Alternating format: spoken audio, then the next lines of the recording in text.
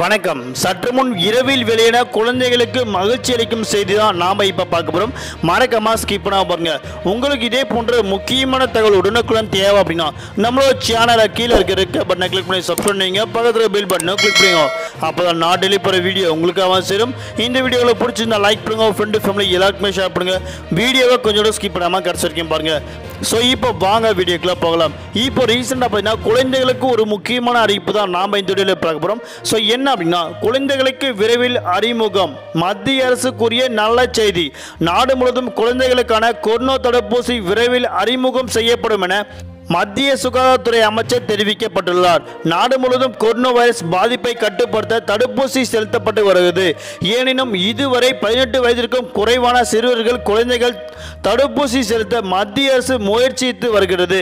குழந்தைகளுக்கான கொரோனா தடுப்பூசி சோதனை மற்றும் அதற்கான நிறுவனங்கள் பார்த்தீங்கன்னா தயாராக இருந்துட்டு இருக்கு இந்த நிலையில் இது தொடர்பாக பேசிய மத்திய சுகாதாரத்துறை அமைச்சர் என்ன சொல்றாங்கன்னா குழந்தைகளுக்கான தடுப்பூசி ஆராய்ச்சியை மேற்கொள்ள இசட்ஒய்டிஎஸ் சிஏடி கேடிலா மற்றும் பாரத் பயோடெக் நிறுவனங்களுக்கு ஒப்புதல் அளிக்கப்பட்டது அடுத்த மாதத்தில் இதன் முடிவுகள் தெரிய வரும் சொல்லியிருக்காங்க அதனால இப்போ ரீசெண்டாக பார்த்தீங்கன்னா இதனால் குழந்தைகளுக்கு தடுப்பூசி விரைவில் கொண்டு வரப்படும் நடவடிக்கை எடுக்கப்படும் அப்படின்னா இப்போ ரீசெண்டாக பார்த்தீங்கன்னா அமைச்சர் ஒரு முக்கியமான அறிவிப்பு இருக்காங்க அதே போல் இப்போ ரீசெண்டாக நம்ம மத்திய அரசு முக்கியமான அறிவிப்பை கொண்டிருக்குங்க மேலும் மத்திய அரசு இசட்ஒய்டிஎஸ் கேடிலா உருவாக்கிய வரும் தடுப்பூசி பன்னெண்டு மற்றும் அதாவது தடுப்பூசி பன்னெண்டு மற்றும் அதற்கு மேற்பட்ட வயது ஊழியர்கள் குழந்தைகள் விரைவில் கிடைக்க வாய்ப்புள்ளதாக உச்சநீதிமன்றத்தில் தெரிவிக்கப்பட்டுள்ளனர்.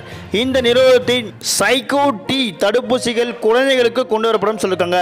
ஸோ இது எல்லாமே ஒரு முக்கியமான அறிவிப்பை இரவில் வந்து வெளியிட்டிருக்குங்க.